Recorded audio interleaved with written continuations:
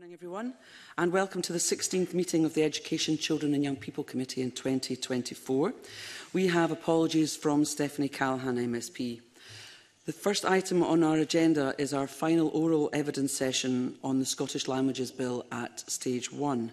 And can I welcome Kate Forbes, Deputy First Minister and Cabinet Secretary for Economy and Gaelic,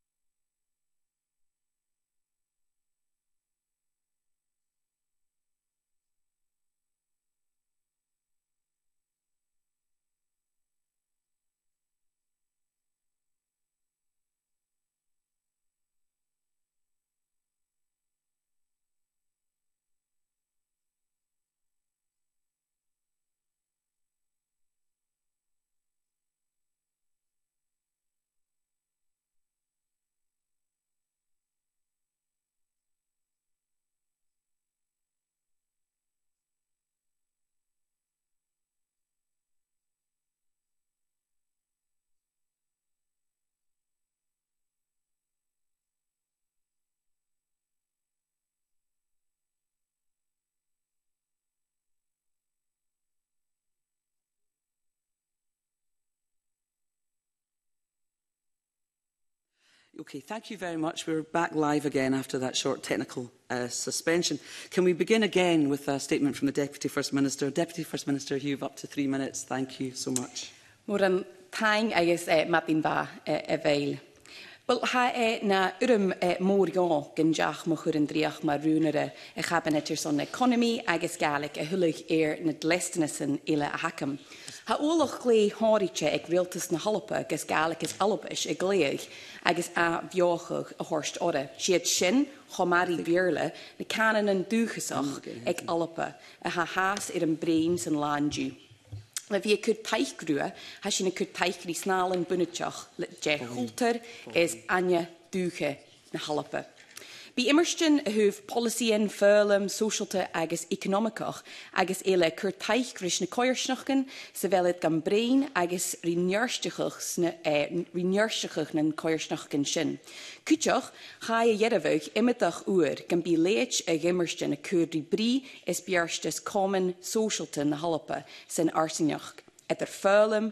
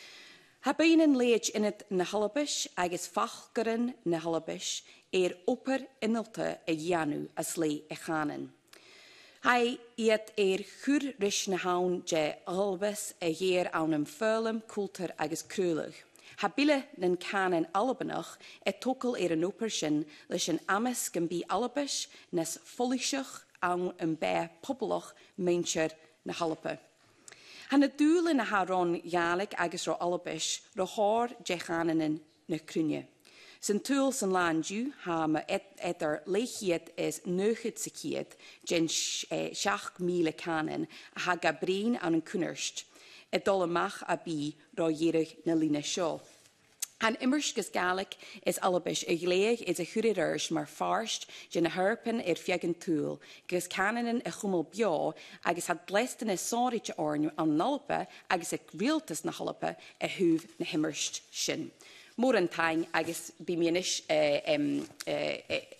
brín sa bhiorla ar son chibetí. Thank you. Okay. Thank you very much, uh, Deputy First Minister. And we're going to move straight to members' questions now. And can I start by bringing in Pan Duncan Glancy, please? Thank you, Convener, um, and good morning, Deputy First Minister um, and your officials. Um, much appreciated your, your opening statement and a lot of, of what you said spoke about the, the existing work that's going on. So can I, can I start by asking to what degree does the Deputy First Minister see the bill as necessary to provide further support for Gaelic and Scots? Uh, thanks very much. Um, and uh, I see the bill as necessary, but it's not the full picture of what I think is required when it comes to uh, our aims around revitalising, supporting uh, Gaelic. So in terms of the bill, I know the committee will have taken extensive evidence, but within Gaelic uh, communities, it's always been really critical that the, the language is recognised uh, publicly uh, legally and that there are rights enshrined in law uh, for speakers and for the language. So the bill clearly comes almost 20 years after the last act.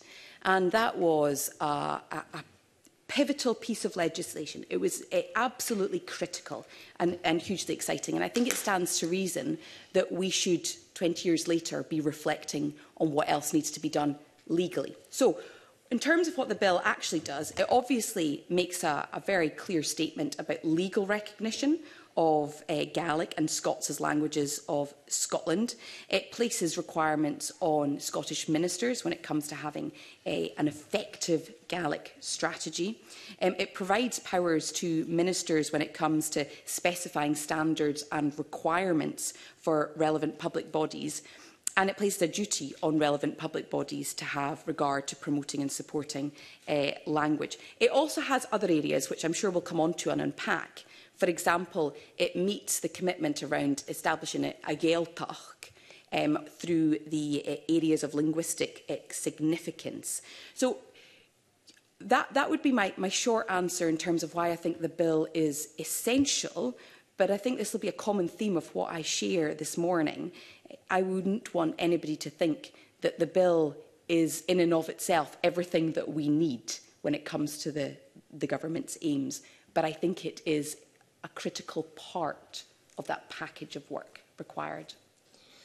Thank, thank you for that, Deputy First Minister. And some of the evidence that we've had has indicated um, what, what you've, you've just said, but also that it really represents incremental and quite slow advancing um, in this area.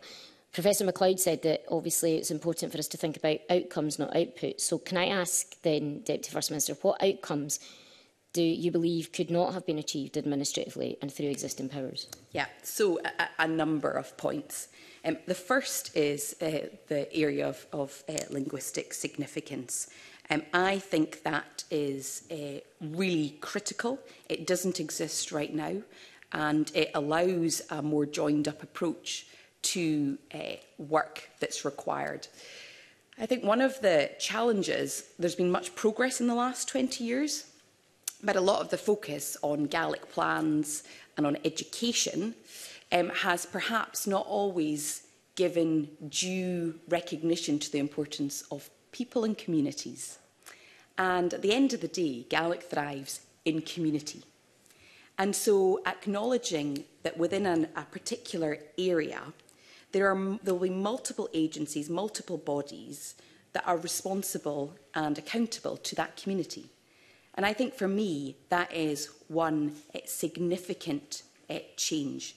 But I would completely agree with uh, Professor MacLeod in terms of outcomes. It's always about outcomes. And in that regard, it seems quite um, you know, um, important to be discussing this after the census results yesterday mm. because uh, the census results indicated that there is a an increase overall in Gaelic skills, which is something to be celebrated, and it's fantastic.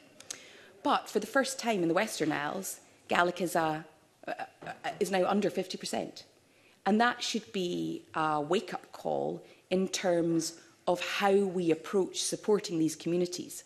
And that's where I think that that the bill is essential in order to focus on outcomes. And the outcome I would like to see is to see a breadth and a depth of Gaelic.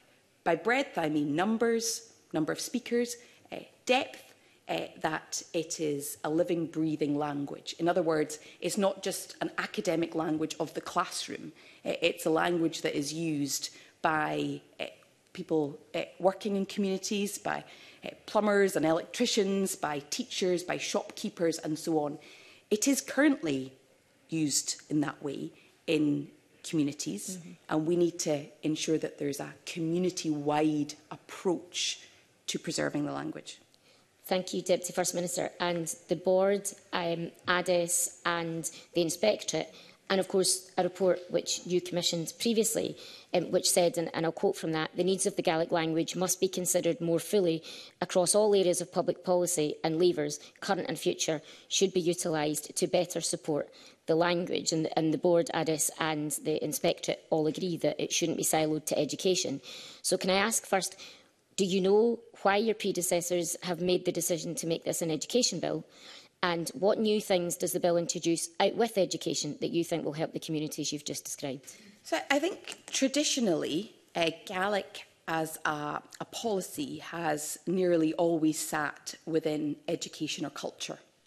Um, I'm really very chuffed that I have responsibility for the economy and for Gaelic because I think that gives it a new, a new perspective. Uh, the report that you reference, which I commissioned, was one of the first ones to look at how uh, Gaelic out outcomes for Gaelic should be embedded in other policies, like housing. And when I look, for example, at some of the significant challenges around depopulation in some of the communities where we might call them um, uh, sort of traditionally Gaelic communities, if that's an acceptable um, phrase they are struggling with depopulation at full stop. So it stands to reason that, that Gaelic would be affected uh, by that. And so the report that was produced by Arthur Cormack and his team looked at how uh, Gaelic could be supported through economic and social measures. And it referenced transport, referenced housing. And uh, I'm not aware of that kind of work having been done before uh, because it has traditionally been in education suppose if I could say one final thing, it's um, education is critical. So I think there can be a tendency when you're reviewing things to say, well, that worked, so now let's focus on a different area. Um, Gaelic education has been an enormous success story. And again, if you look at some of the census figures in the Western Isles, uh, we are now seeing over 50% of the young starters in P1 going into Gaelic medium sorry, can I just in interrupt, yeah. Deputy First Minister? Um, and, and I appreciate what you're saying, but do, do you think the bill, like do, the, the bill as it stands, doesn't include scope in housing or transport or anything else? Do, do you think that's disappointing? Um, I, I think that you have to have a focused bill. I don't think you can have a bill that says so much it doesn't mean anything. Uh, I think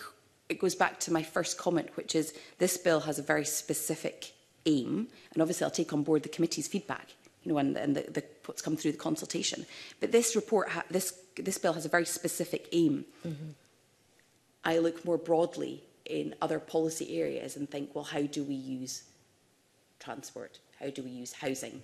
Uh, but I would be nervous about trying to make a bill too do too much in that regard. And I think it's an education bill because education is essential and because historically it has sit, sat within the education uh, brief. Okay, thank you. In your letter, Deputy First Minister, to the Finance Committee, you've actually stated, by, and I'm quoting, I hope, by providing leadership, focus and priority across public bodies, further progress can be made for Scotland's languages. And I, and I did note the careful use of Scotland's languages rather than the title of the bill in that. So but is legislation actually needed to do that? As the sort of broad question there? Well, I, so I think it is. I think legislation is uh, needed in that regard. I, I think that there has been um, a groundswell and an appetite, groundswell of support and an appetite for uh, legislation that reinforces what uh, responsibilities public bodies have, what responsibilities Scottish ministers have, Uh, and lastly, on that key point around communities, the areas of, of linguistic significance it eh, doesn't currently exist. Uh, so to that end, yes, I do think legislation is required. But I'll keep making this point. I think this legislation is a focused aim. We're not expecting it to do everything. And you've called it, said it's got a focused aim, but many have come here today and told us that it's largely symbolic. So what, what would your response be to, to that? Well, I, I, I wouldn't be content with a bill that is, is just symbolic. Uh, when it comes to uh, a minority language's rights, I don't think that is just symbolic. I think that is actually very meaningful. But enshrining rights then needs to lead to action. And it's the action of public bodies and the action of communities that will make the biggest difference. Okay, thanks. Uh, Ruth McGuire now, thank you. Thank you, Convener Matinva. Um, Deputy First Minister, you'll be aware that we've had varying um, opinions on the view that Gaelic is in crisis, with some people finding that actually quite helpful to focus minds and to to shake things up a bit. Others um, perhaps feeling that that that word is is unhelpful. What's your um, position on that? Obviously, we spoke uh, you, we spoke earlier there about the the census results. Um, so, within traditionally Gaelic speaking areas, is Gaelic in crisis? I mean, do, are we approaching this with enough urgency? And how does the bill respond to that that, that sense of, of, of urgency and need. Yeah, so uh, I think that it is helpful to start with the data. And I don't like reducing people or language to, to data. But if you look at the census figures, the, the census found that there has been an increase of 43,000, just over 43,000 people in the last 10 years uh, who have skills in Gaelic. I think that is tremendously good news. If we were seeing those figures go in the opposite direction, I would be giving a very different response to you this morning because if we had seen a reduction of 43,000, I think we would be in crisis territory. But to see that increase is uh, uh, incredible. The challenge has always been around uh, the areas where it is a, a language of everyday, everyday use as a community, because clearly it's a language of everyday use in Glasgow and in Edinburgh um, in, in many families. But from my perspective, that is part of a much broader issue around depopulation in our rural, coastal and island communities that we need to um, be conscious of. Uh, and secondly, I think that a lot of action is being taken in terms of trying to uh, reverse that. So Corlin Nellen Shear, for example, has a Gaelic first policy um, and that is having an impact if you look at, as I said already, in terms of the number of people starting in P1 it's had a, a, a big difference. So I do not like the, the, word, the word crisis, but I do like the word urgency. Um, I think it requires focus, it requires urgency, and it requires all of us to decide whether or not uh, we represent all of Scotland's communities, including uh, those who have minority languages. Thank you, that's helpful. Um, the 2017 Welsh language strategy had a time frame up to 2050. Um, can the government articulate what its aims for Scots and Gaelic are in the medium and long term? Yeah. So uh, I've I, I quite closely followed uh, what was happening in Wales um, long before I had this job. And I recall a conversation with the Welsh language minister who had said that actually having quite ambitious targets and a quite ambitious uh, deadline, as it were, was uh, had really focused minds. Um, I'm in two minds about targets. I think targets can be quite uh, dangerous as well because they end up focusing a lot of money and attention on particular areas that may be successful, but don't uh, reveal the, the breadth of it. In terms of aims, uh, my aim would be uh, ultimately to see a significant increase in number of speakers, um, but also to see uh, those speakers have a depth of the language, um, because to have skills in Gaelic might be Matinva, or it might be that it's you know your heart language. Uh, my aim would be to see a substantial increase year on year um, and to stop uh, the depopulation or the reduction of uh, Gaelic speakers in sort of more traditional communities. And with that in mind, and and I guess when we when we talk about you know having some skills or or it being a community language, they are kind of different things, not completely separate, and feed in and help help the language thrive will the government look, or has the government looked in to communities and spoken to communities about what, what success would look like for them, what their, their aims would be long term? Yeah, and if anybody wants to come in in terms of the consultation with communities, uh, feel free to. Uh, but my understanding is that in terms of uh,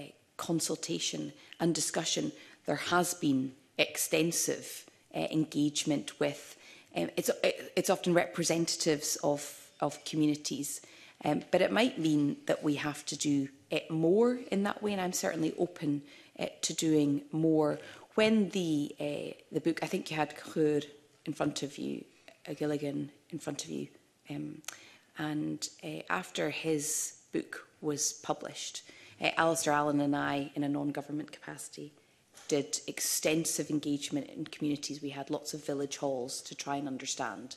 Um, and what was interesting in terms of what came through that was it was all the, uh, the stuff that happened on the periphery that's informal that they were looking for. And it was, for example, routes for young people into work where they could still use the language. It was being able to get public transport to uh, a, a youth event where Gaelic could be used. It was all these uh, peripheral things uh, that were important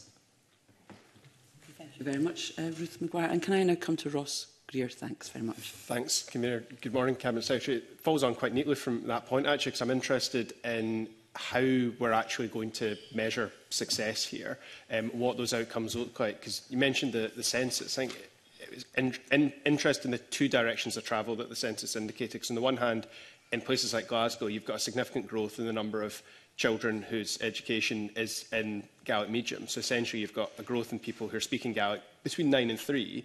Some of them will speak it when they go home, not all. They certainly won't speak it when they go to the shops or a youth club or when they're on the bus or when they're applying for a, a job.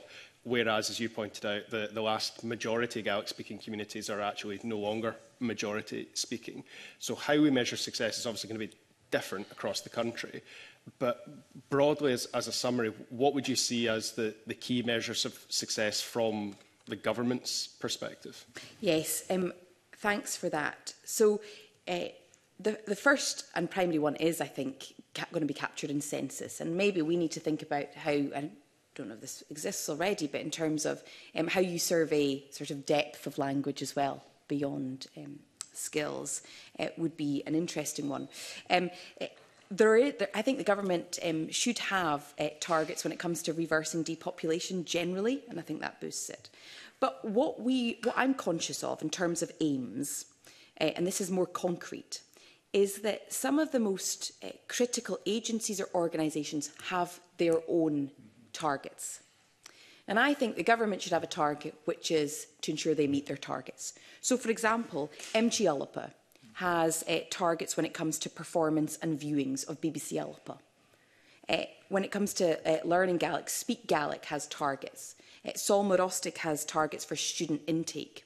And I think there's maybe, and this may be something that we could provide to the committee um, and could consider how we, how we formalise, although it'll be a bit of a, a, a moving feast, um, how we take uh, the targets, the sort of more devolved and delegated targets, and make them government targets because the risk of creating targets that sit above all of those is that they actually undermine the targets that already exist in these respective organisations. Uh,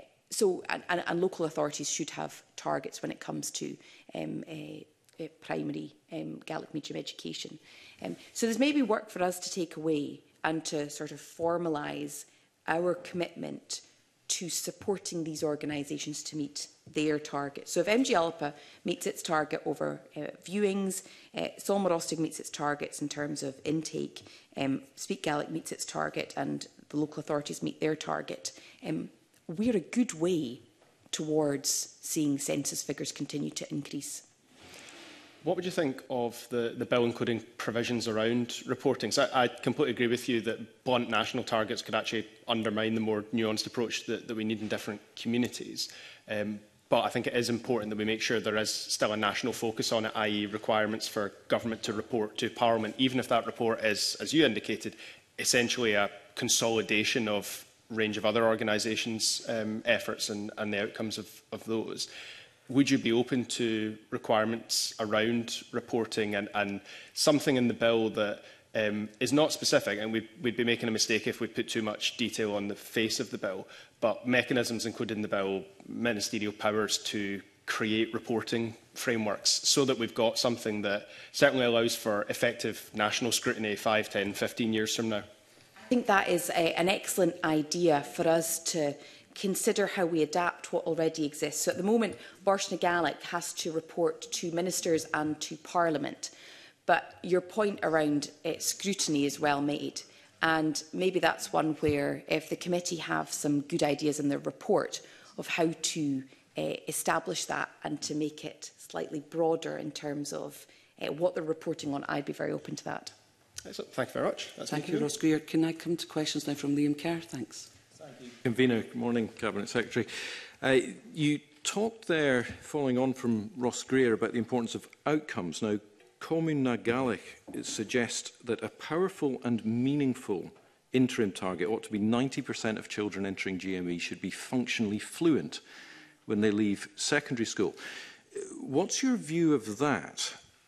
Should the concept of functional fluency also apply to Scots? And if so, How is functional fluency assessed if Scots is a category incorporating numerous significantly different dialects? I think the figure should be 100% in terms Noted. of uh, young people leaving Gaelic medium education.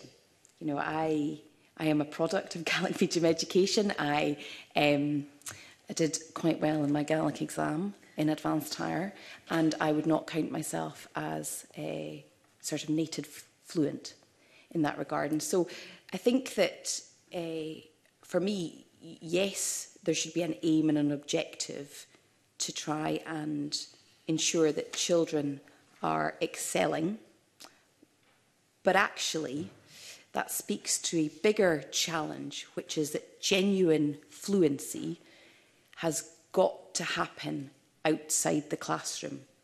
And it's about the opportunities you have through youth work, through fun, uh, through your family, um, and then on to employment.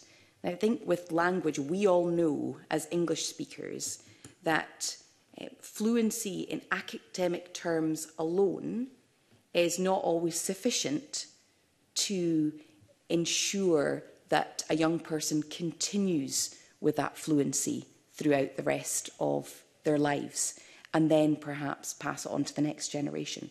So I absolutely agree with your with CNAC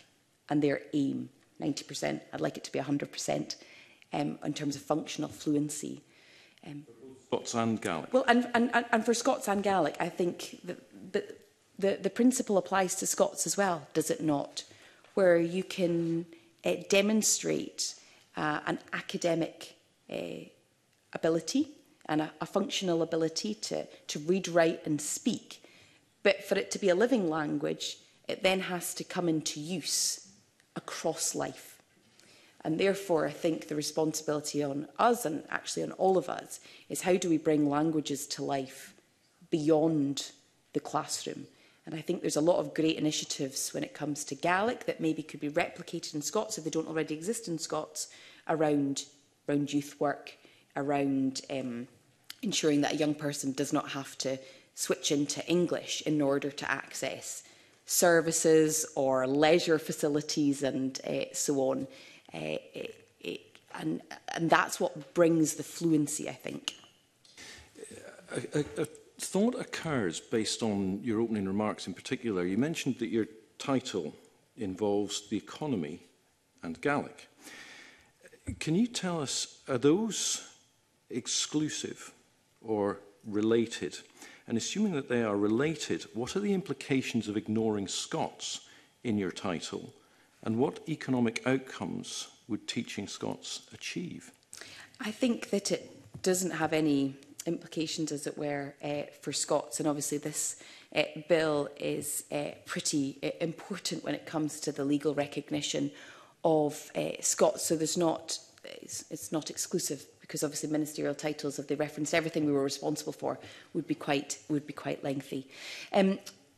so I think, what was the second part of your question? Well, eh, what, eh, assuming that your economy and languages briefs, briefs are related, what economic outcomes do you project from the teaching of Scots? Yes. So it, eh, the economic outcomes are thriving prosperous, happy communities. And language is embedded in community. There is no community, there's no community without language. And where, you know, we, we often can make arguments, which I think are important, about the economic contribution of Scots or Gaelic, because clearly it has an impact on tourism, it clearly has an impact on all the heritage industries. It clearly has an impact on the Scottish economic brand. So it has a huge economic impact. But I'm a lot more interested in what's happening at a grassroots. And where you have communities that are able to work in their language of choice, where they're able to live in their language of choice, where they're able to access public services in their language of choice. I think that is very meaningful for the economy. Uh, and certainly at the moment, if you think of some of the, the communities uh, where these languages... Respectfully, yeah. in what way is that meaningful for the economy? Can, can you quantify that? You have a reputation, Cabinet Secretary, as being all over the economy piece. Um, so you must have given some thought to actually what is the economic output of taking these measures? Right, so he, here's, uh, here's um, quantifying it.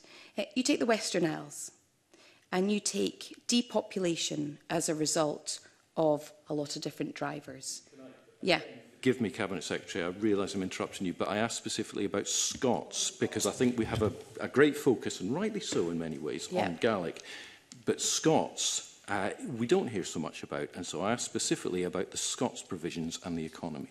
Well, I think that these things are very difficult to quantify, and I think that putting a, a quantif quantifying them. It, has been done for Gaelic in terms of work that HIE have done around quantifying uh, the impact of Gaelic on the economy. It could be done for Scots. I don't know if it has been done for Scots. I'm not aware that it has been done for Scots uh, in terms of the impact. I think the impact would be substantial in terms of the industries that I have referenced. But I, I suppose, with respect, I'm suggesting that whilst it's a,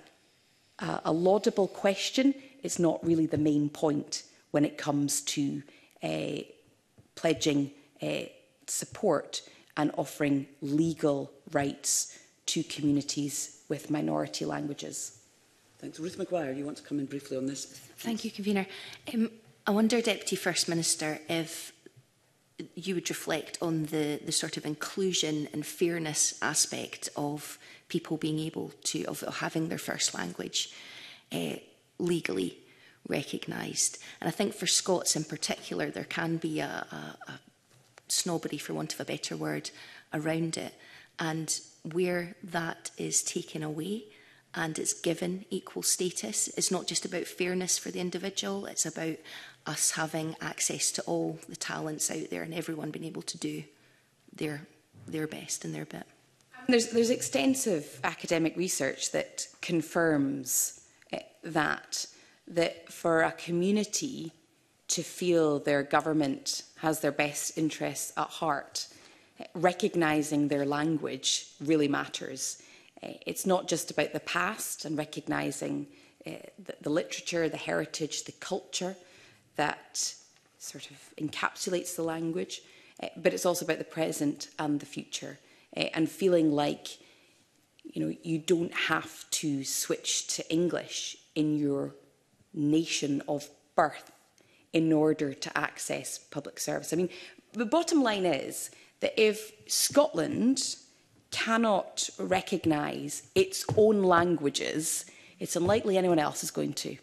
So we have a moral duty to recognise legally, but more than that, we also have a moral duty in order to support recognise and protect the speakers. And like I said, if, if, the, if, if they can't depend on the Scottish Government to do that, then who will? Uh, Michelle Thompson, thanks for your patience. Over to you now. Good morning, Deputy First Minister and the rest of the panel, and thank you for doing your opening statement in Gaelic. Really appreciate that.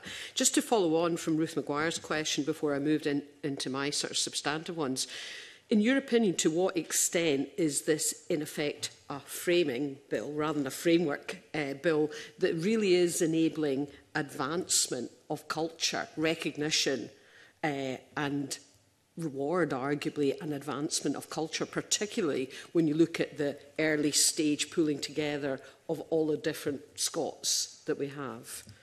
Um, I think it's an interesting question because a bill on language is always going to struggle to know what to exclude. You know, I, I suppose it's a it's maybe a daft comparison in some people's eyes, but if you had an English language bill, what would you include and what would you exclude?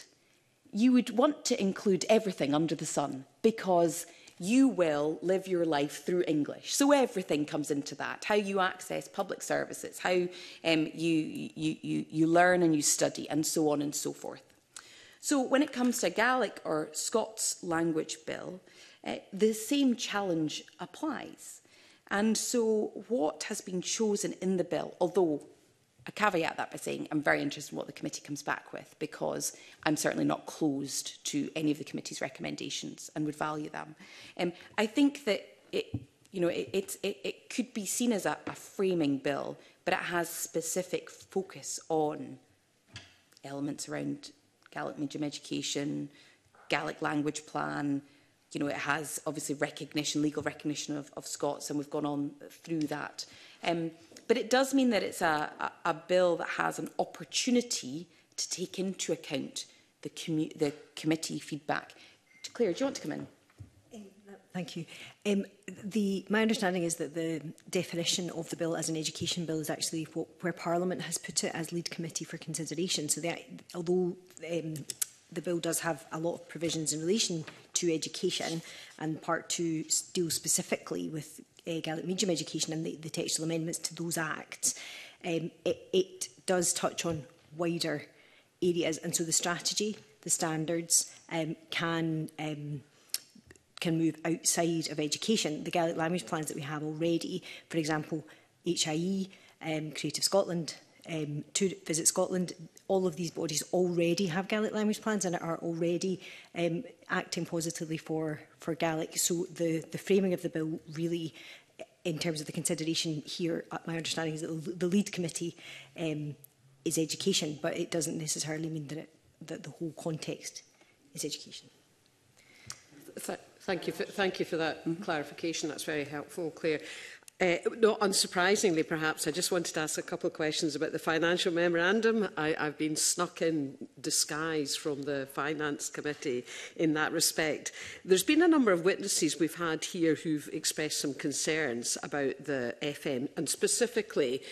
the fact that there's limited extra resource for Gaelic and none for Scots.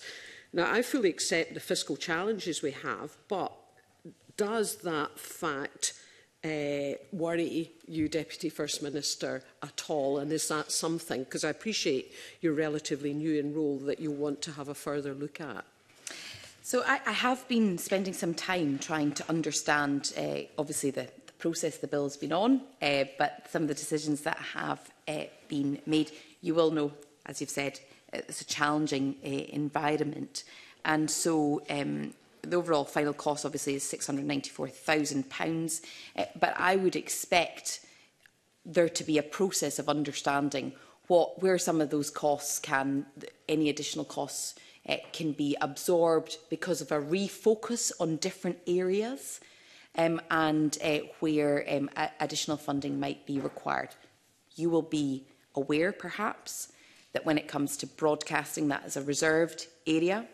So there's obviously a lot of work going on at the moment uh, in was in the House of Lords around uh, amendments to uh, the bill there to give equity to BBC Alpa and MG Alpa uh, between them and uh, Welsh language broadcasting because Welsh language broadcasting is multi tens of millions of pounds, uh, whereas Gaelic broadcasting is in their words, perhaps on a shoestring.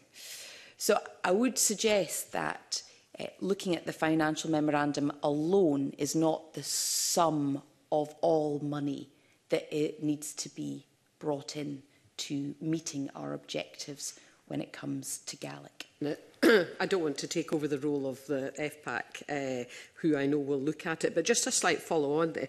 Public bodies must have regard to Gaelic and Scots uh, under the bill.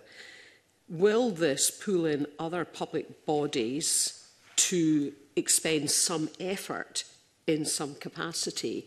And to what extent are you absolutely certain that all this potential in terms of having regard to is reflected thus far in the FM? Um, in terms of the uh, the the last few words Just to what extent, if all public yeah. bodies need yes, to I've have regard to? Yep. Yeah, yeah, understood. Um, so I would expect, particularly in the areas of linguistic significance, for public bodies to pay due regard to Gaelic uh, and perhaps public bodies that weren't otherwise doing that. Uh, I don't see that as being a significant additional cost. If you think, for example, of a responsibility on a public body to have staff that can answer queries on Gaelic, it may well be that in that area there are Gaelic speakers working in the, in the organisation already. That would be the case, more likely than not, in the Western Isles. Uh, so I would expect, uh, where there are responsibilities on public bodies, for them to consider what that means uh, for them. And in some respects, that then obviously brings out the counter. If they're properly having regard to, then that should, if they're going through that process in good faith, determine where they don't have exactly that example that they then need to make provision for. And that is a possibility then of incurring extra costs. So actually, that's demonstrating part of my question. You know, and it I mean, you can give a brief answer just now, but I think that is the sort of thing that probably the scrutiny as appropriate on the, the Finance Committee will want to tease out. the point is that these public bodies, nearly all of them, are already producing Gaelic language plans. So they are already engaged in work to consider the requirements of them on them from the current legislation and to respond to that. So there is already a legal requirement on many, if not all of them. Mm -hmm. Douglas Stone, if you want to say anything more about what they already require to do, because that is quite important for where there might be additional costs. I think, I think just to add that the current structure has put expectations in place and it's, it's put a, a dynamic framework. And there, there is spend going forward from public bodies, from local authorities, that is a, a local decision by the public body and, and by the local authority that might not be the result of a legal expectation. So there is a dynamic movement. There are local decisions being taken and funding is increasing from local authorities and public bodies. This is all very welcome, but uh, of course we understand the, the points that are being made.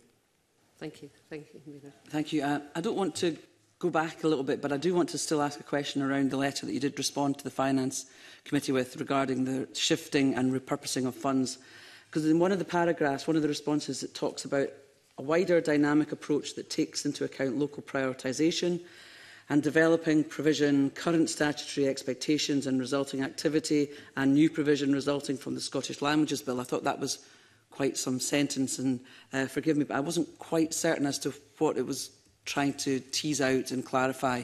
Could you maybe talk to me a little bit more about that? That'd be, be helpful. Thank you. Yeah, I, I mean, I, I think that goes back to part of the conversation that we've just had. So in a local authority area or a, a public body, there will already be decisions that are being made. So, for example, if I think of some public bodies, let's take Highlands and Islands Enterprise – Highlands and Islands Enterprise will already make decisions itself on what uh, role they have with regard to Gaelic. There will already be um, some expenditure. I know that you had uh, representatives from High here earlier. It, eh, you know, they already make those decisions precisely because of the economic opportunities that come from Gaelic. So in terms of this bill, This bill, I think, is doing a number of things. It is refining what those responsibilities are. But we're not in 2004, where for the first time ever, we're suddenly expecting public bodies to have due regard to Gaelic. They already do. The same goes with Highland Council, uh, which I'm intimately acquainted with. Highland Council have a number of, of Gaelic medium units and, and schools, uh, the elected representatives there will make decisions with the budget they have and how to spend it. You know, we've had a number of new schools they're currently spending in terms of expanding provision at Fort William and Inverness. Scottish Government is not always calling the shots, as it were, and making demands of these organisations. They make the decisions right now off the back of the 2005 Act and often go further because they see an economic opportunity or a social opportunity or an educational opportunity. So I think that's the point I'm trying to make, that this is not a massive suite of new requirements and regulations as though these public bodies are not in many cases already doing work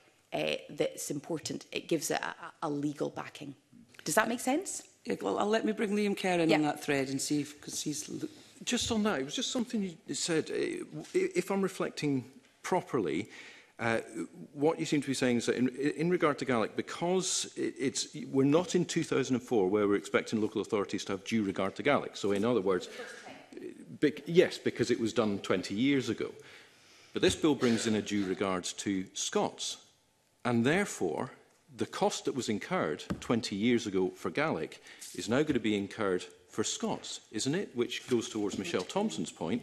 This does create new cost. Well, if you look at what the requirements are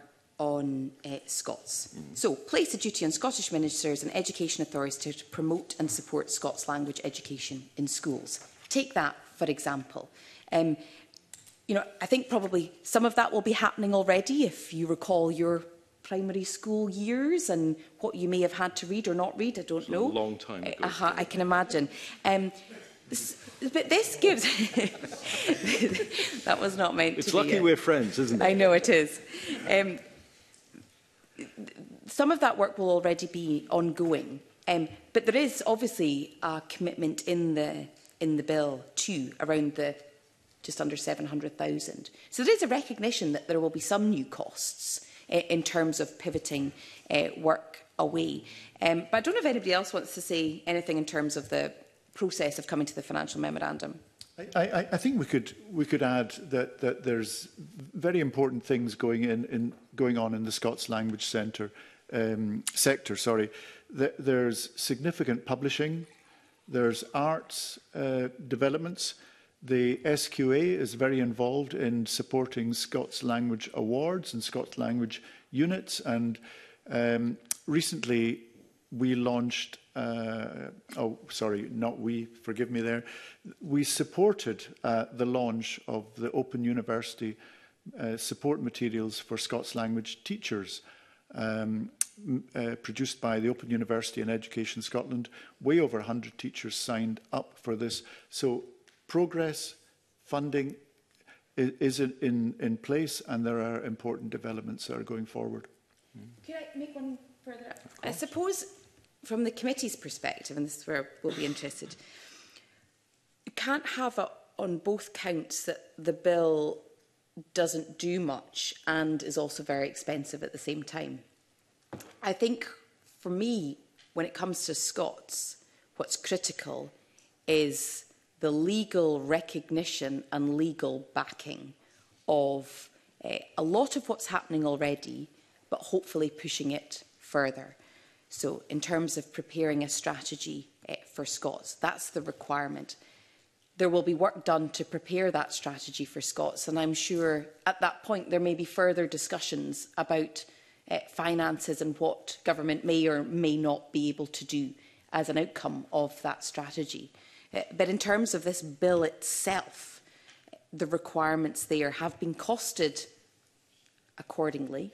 Uh, but I hear the committee's feedback and the feedback from consultees in terms of the financial asks. Uh, Deputy First Minister, I suppose you, we spoke about the number of public bodies that have got Gaelic language plans, but there's far more than 57 public bodies across Scotland that will have an expectation to have a Gaelic language plan, and surely that's a resource and a pressure on those organisations that haven't been considered? Um, a couple of points on that. Uh, one is if there is a, a legal duty on a, a body to pr pr produce a, a Gaelic language plan, then um, th that will need to be considered. Um, clearly, that will be considered as part of budgeting uh, processes. Uh, secondly, though, um, a lot, I'm a lot more interested in what they're actively doing than just producing plans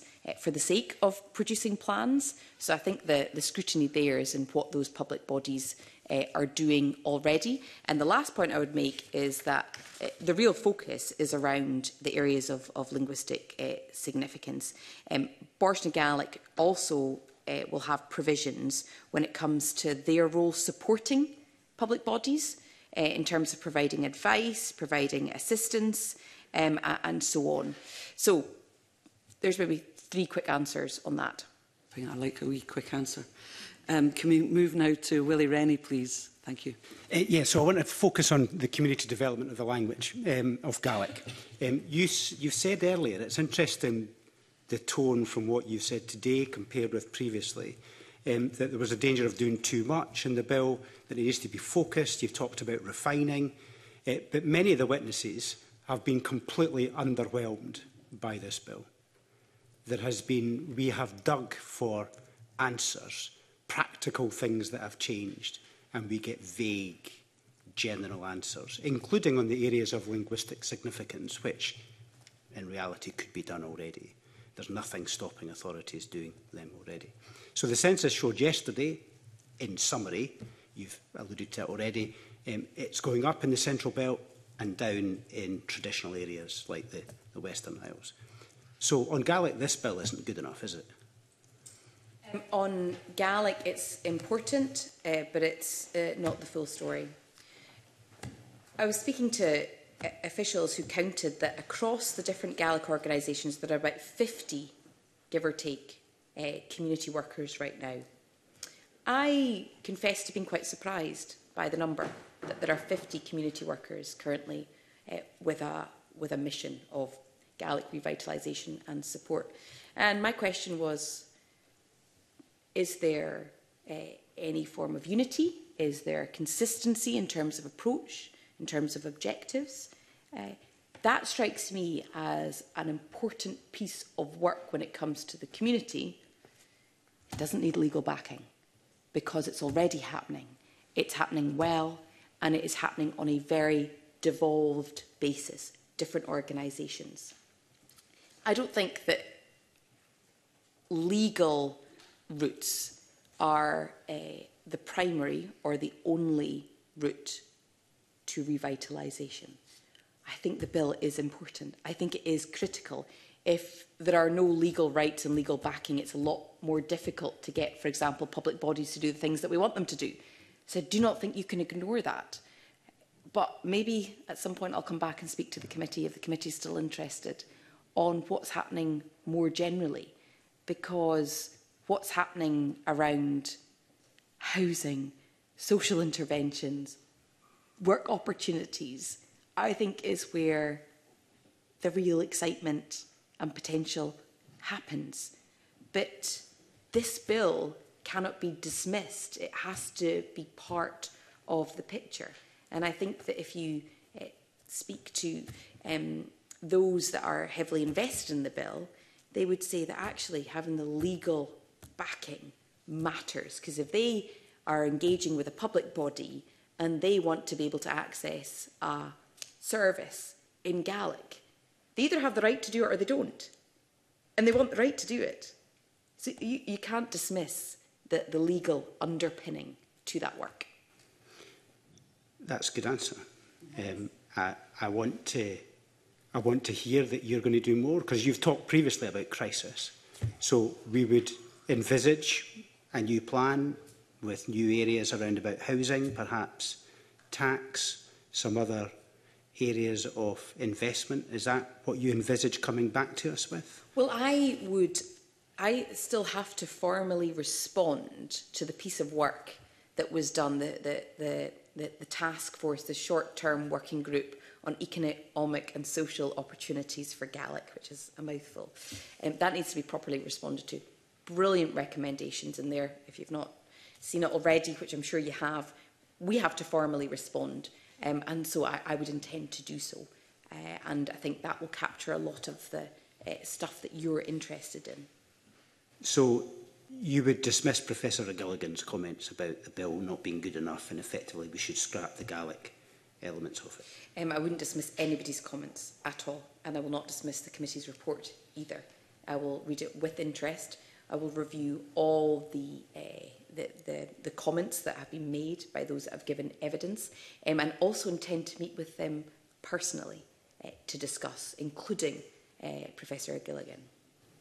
Okay, so I'm a bit confused about that because you've said the bill's important, but you've not. You're saying that his remarks that the Gaelic bits of the bill should be removed.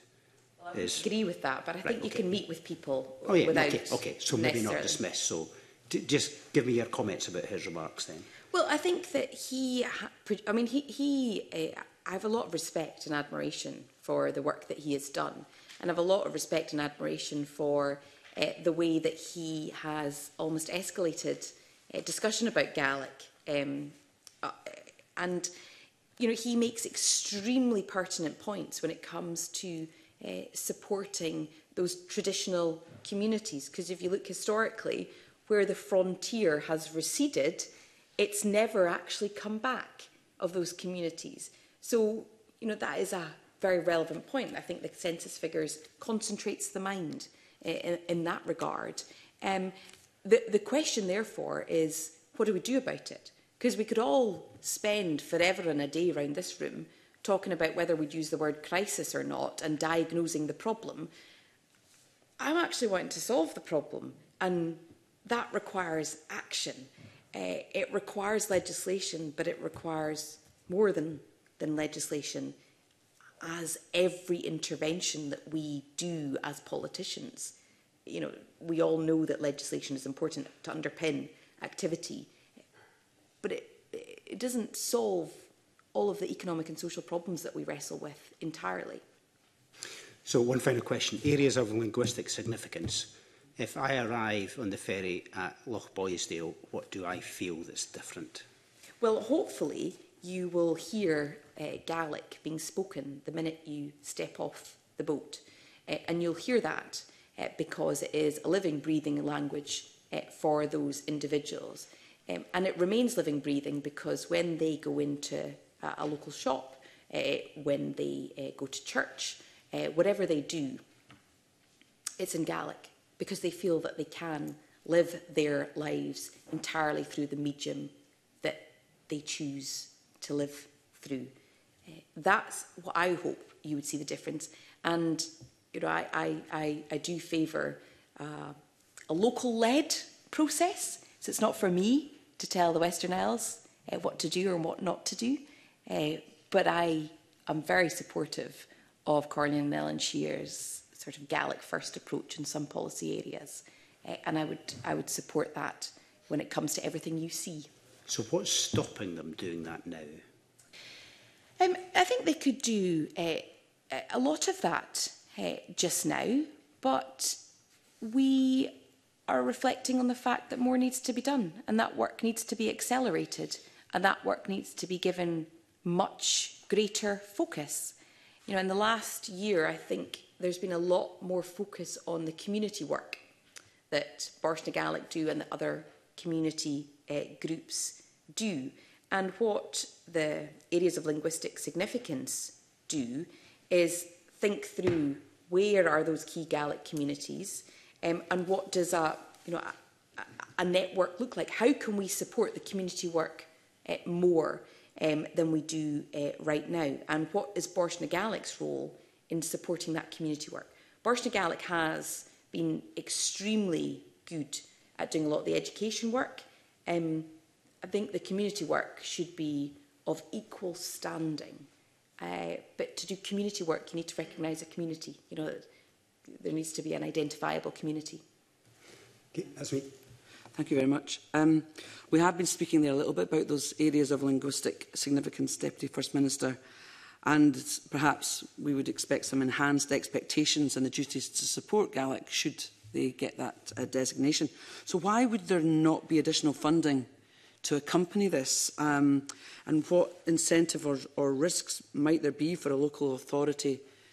to make such a designation? I wonder if that's been considered.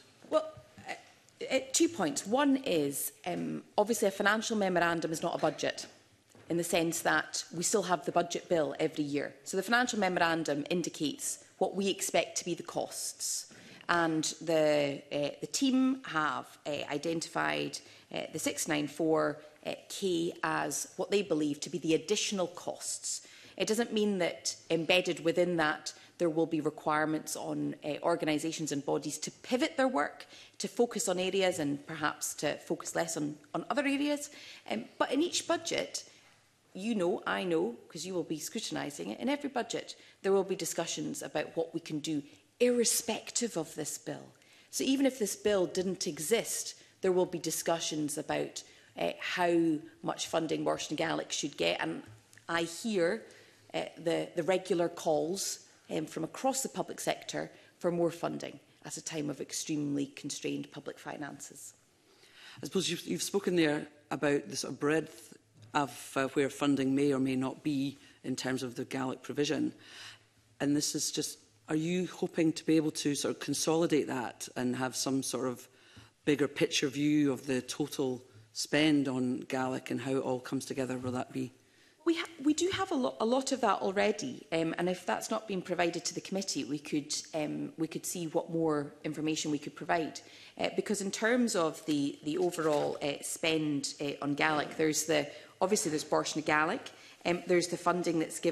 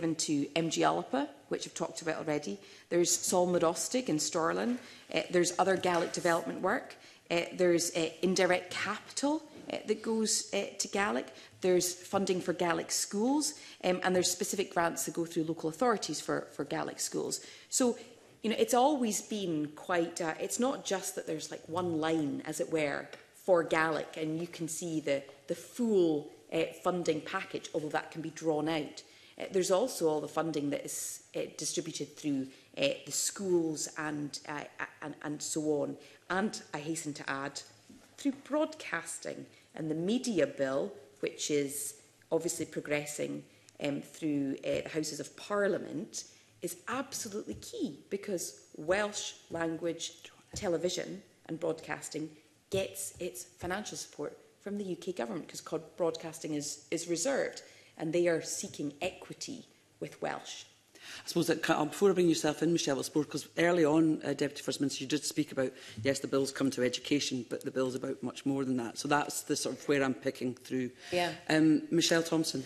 It's, it's just on, uh, on a point of accuracy. You're absolutely right about what you're saying about Gaelic, but there's no funding provision at all for Scots, which was one of the concerns that was brought out. So it's just to put yeah. that in the record for accuracy. Yeah. And there's obviously some funding that we already give when it comes to Scots currently additional.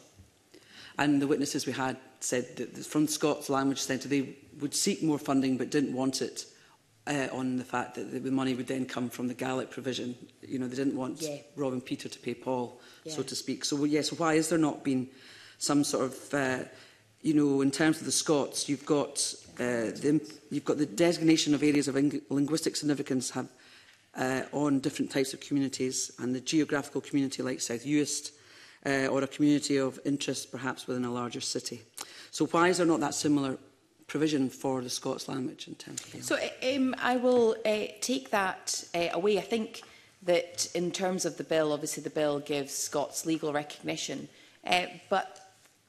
clearly there is uh, an appetite and an ambition for Scots.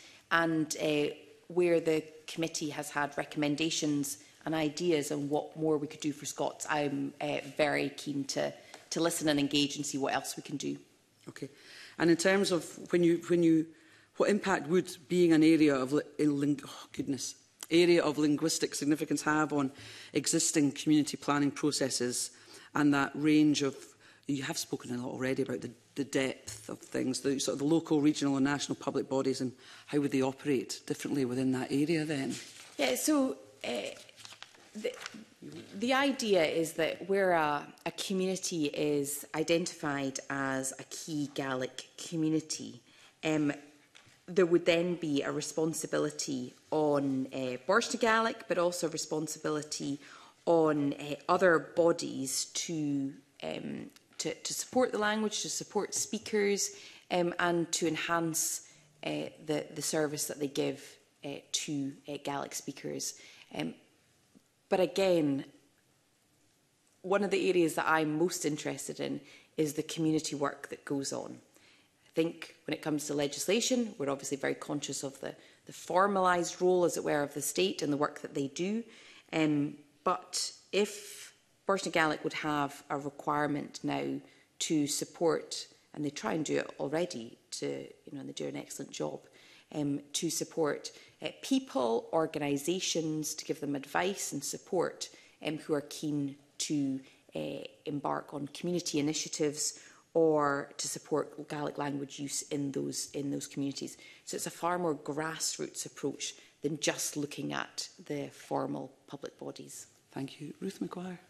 Thank you, Convener. Still on um, the areas of linguistic significance.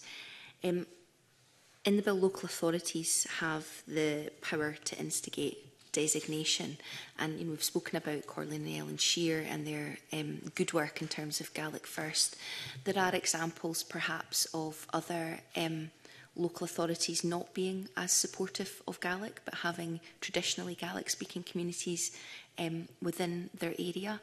Um, bearing in mind that um, you know success for the language is that community thriving would you be open, Deputy First Minister, to allowing, you know, amending the bill to have that community-led designation, not just a local authority-led one? I think that is something that I would be eh, very sympathetic to exploring.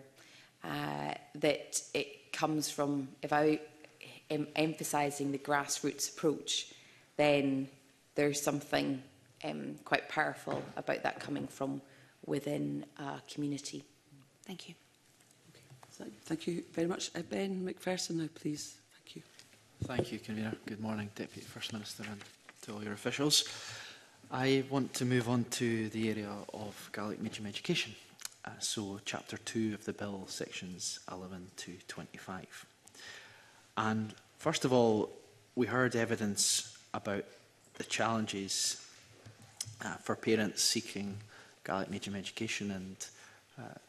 I have Edinburgh's Gaelic Medium Education Primary in my constituency. I used to work at Edinburgh's Gaelic Medium Education Secondary uh, bef before uh, being elected. So I just wondered if you could comment, first of all, could and should the process for parents seeking Gaelic Medium Education be simplified?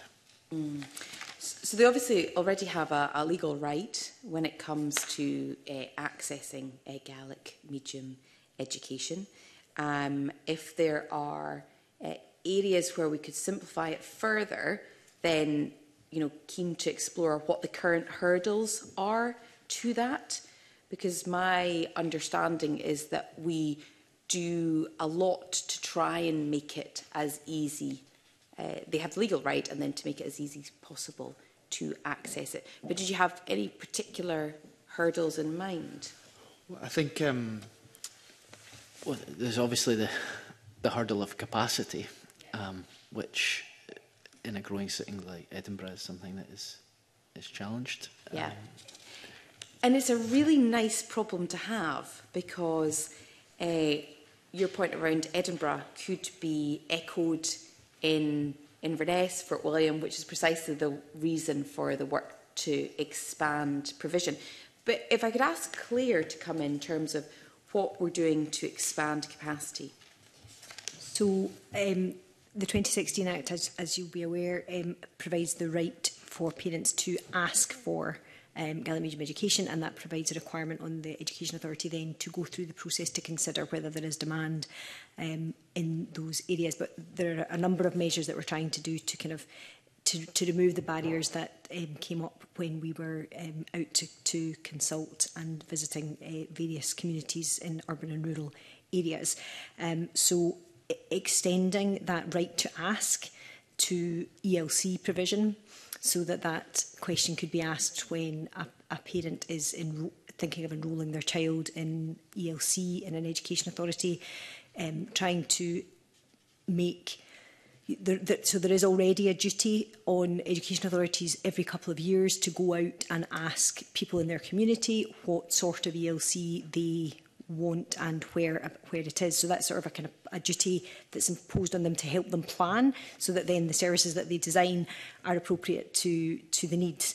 But that at the moment doesn't have a requirement to ask about language. So you don't, and we are aware of circumstances where that exercise has been carried out, but no one's ever actually been asked, well, what, what language would you like your ELC to be in? Do, you know, do you and that's in Gaelic speaking areas. So, so one of the amendments in the bill is to kind of um, to ensure that that question is asked when that exercise that's already going on is, is, um, is done.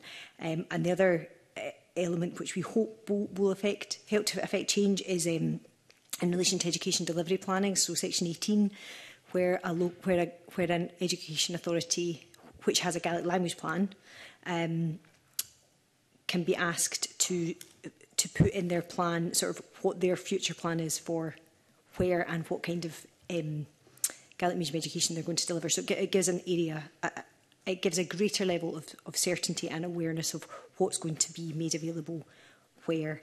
Uh, we're also making changes to transport and to catchment um, to make requirements on local authorities to designate catchment areas so that there's a bit more certainty of where there is a school that's providing GME or a unit within a school that's providing GME, that actually a catchment area is established for the GME provision.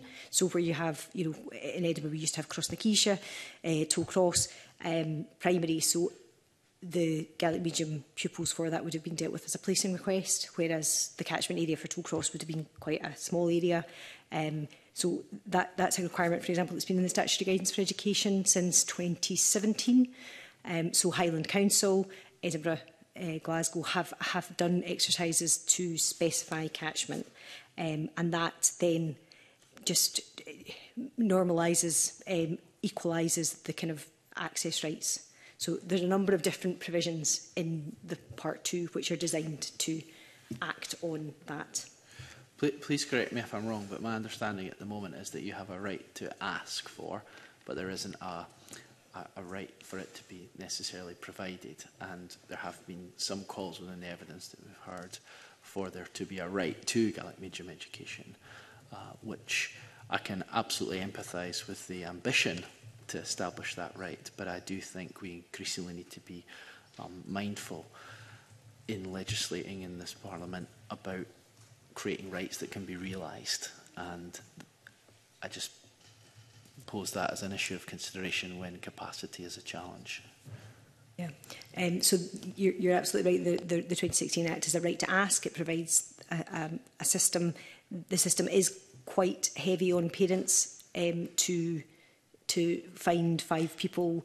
You, you know, it is, it is a relatively cumbersome uh, process and, and certainly something that we can look at again Um, at the moment, what we've, we've done is to, to provide a power to change the number of five um, for areas of linguistic significance and or and or other areas so that we could potentially put a bit more nuance in, in there.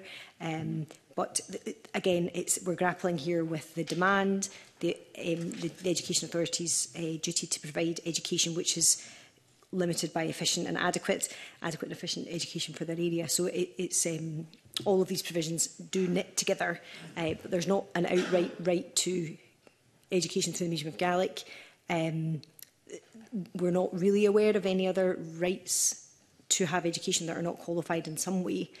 Um, and even in Wales, there are parts of Wales where the only provision is through the medium of Welsh, and there are Welsh medium e-, education schools. So, um, yeah,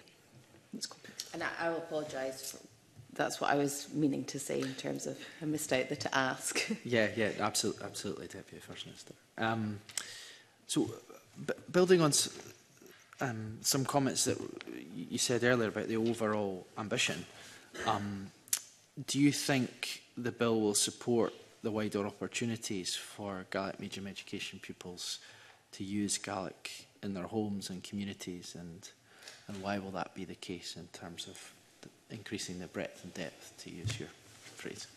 So I think it gets us closer there. Um, I think that uh, sort of engaging in intensive work, community work, in particular localities, is more likely to get us there. And that's what the bill is trying to do. You know, I, when it comes to the choices people make, for what language they speak. It's nearly always in response to their environment, either their home, their school, their leisure activities. It's in response to that. If they are, are in environments where it's instinctive to respond and use Gaelic, then they will continue to use Gaelic and they will have the depth of fluency that Liam Kerr was asking about uh, earlier. That's why I think it starts and ends with community, because we all live in community. Our lives uh, revolve around the community. Um, and that's what it's trying to do. It's trying to get more of a focus. You know, it's making some changes, of course, to education, which is important, because um, school is at the heart of, of community. Uh, but more than that, it's looking at communities. Um, we have to get it right. You know, the, the bill creates uh, the legal pathway.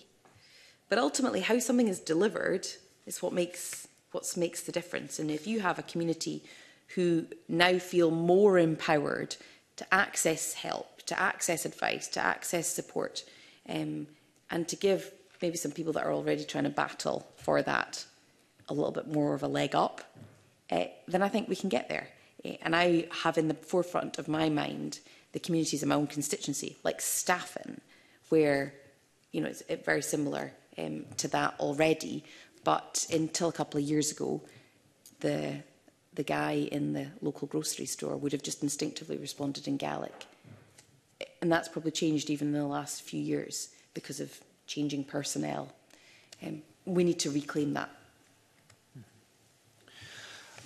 Okay. Um, to touch on another issue, uh, there was a discussion about the economy earlier, and one of the benefits I know from my constituency work is that young people who are learning Gaelic also develop skills that helps them to learn a number of other languages, which of course um, not not only gives them the benefit of learning Gaelic, but then being able to learn more languages, and that helps in their their uh, economic contribution later on and opportunities. So, in the consideration of young people learning languages more widely. Should education authorities prioritise Gaelic as a modern language over other modern languages or, or not? Well, I'm very supportive of what Corlin and Ellen Shear does and what they've done has led to tangible results in terms of uh, young people opting for Gaelic. Um, I think that parents, in a sense, are voting with their feet because that's the reason why uh, there is such demand um, across different local authority areas. Um, and I think local authorities have a duty to reflect and recognise that. Uh, you know, when it comes to um, the responsibilities on local authorities, uh, clearly there will be a lot of parents that want to choose English medium and they also have the right to choose um, uh, education in, in their language of choice. Um, and so I think it's about I think it's about getting a balance. But I think there's some particular local authorities where there are uh, communities of large numbers of speakers, like the Western Isles, like the Highlands, like Argyll and Butte, um, where that needs. I generally would favour uh, uh, more of a Gaelic first approach in these communities. And just lastly, in our evidence, we heard feedback concerning higher education. And I just wondered, will the government use the powers under the bill to improve provision of Gaelic medium further and higher education? Yes, because it, it needs to go all the way through and see education as a whole. Um, you know, it, it's not sufficient to just have large numbers going through primary school and then dropping off in S4 and S5. Um, you actually want to see people go right through uh, primary, secondary and higher or further education um, and to uh, take up the, the, the opportunities um, to continue to, to study the language.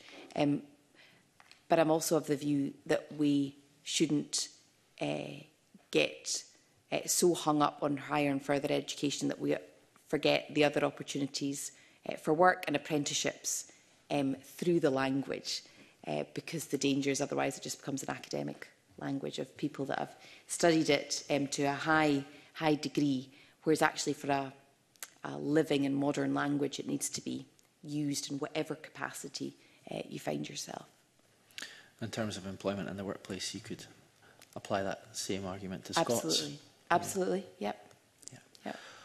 Okay, no more you, questions from me, Can Yeah, sorry, you spoke a little bit earlier, Deputy First Minister, about issues with capacity, but of course it's not always the buildings and the space in the classrooms. I suppose I w I'm wondering how the government's going to monitor where the avail availability of Gaelic-speaking staff uh, prevents public bodies from developing their Gaelic provision. And we have heard it goes from early learning uh, all the way through to subject choices as well in, in, when it gets to higher education. Not higher, sorry, secondary education specifically. So what, how are you looking to monitor that and maybe support that development? Yeah, well, there's a lot of work in terms of attracting people in, which my colleagues can talk to if you want, but we do also monitor, um, obviously, the number of people that are teaching through Gaelic Medium and also the number who would be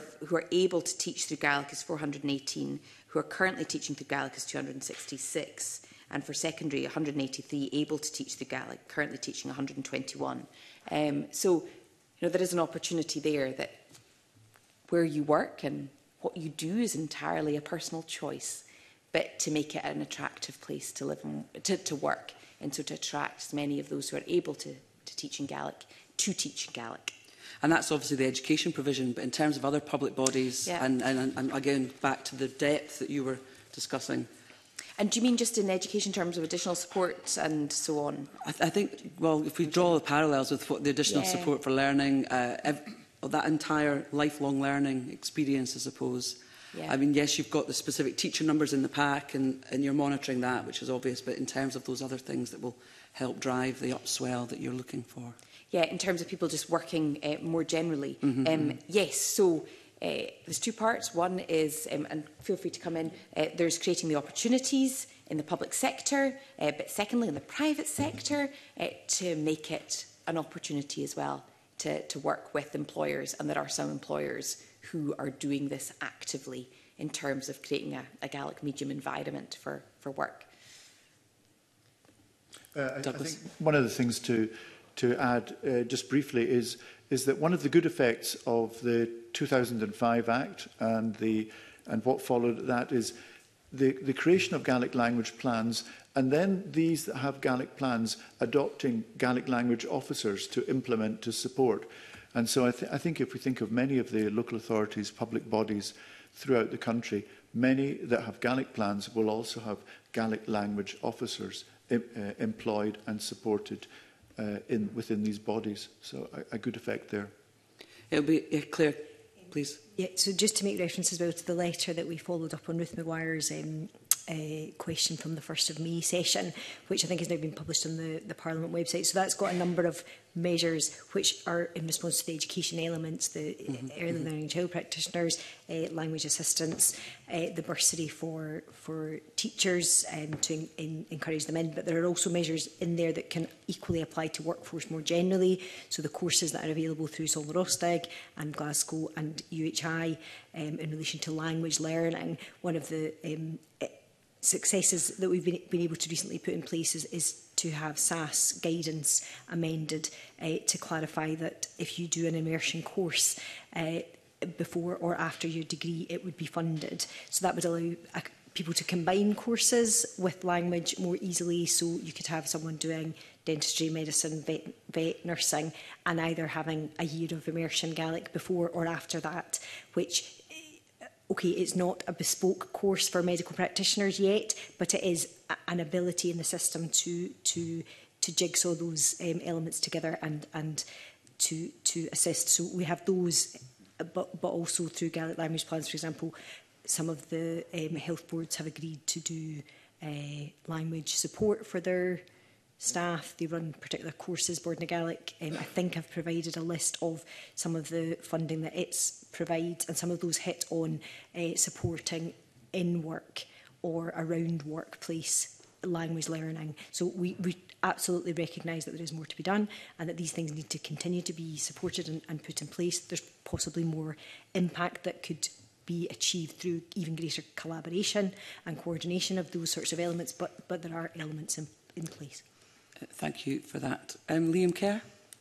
The statistics, Cabinet Secretary, mm -hmm. that you gave to the convener about teachers who can teach Gaelic but aren't currently doing it, are you proposing, just so the committee fully understands, are you proposing that our already very hard-working teachers kind of double up no. Gaelic, or are you proposing that they stop teaching their other substantive subject and become Gaelic teachers instead? No, I, I think it's about choice. So I personally know uh, a number of teachers who are qualified to teach maths in Gaelic, for example, but are currently teaching uh, maths full stop, uh, just by virtue of the fact that the, the place where they got their employment is not a Gaelic medium uh, school um, or where they, where they live and so on. Um, and so for me, it's just about providing pathways uh, where they have uh, skills that they want to use,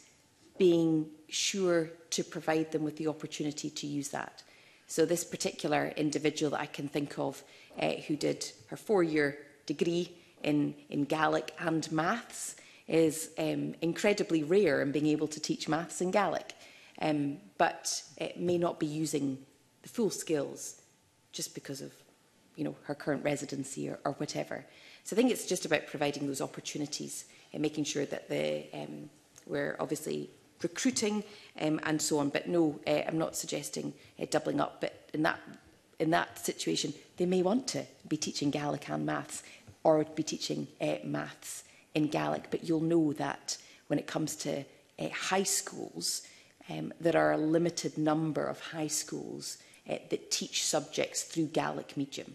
Eh, so that's my point. Mm. Um, to what extent have you considered the Gaeltacht model that operates in the Republic of Ireland?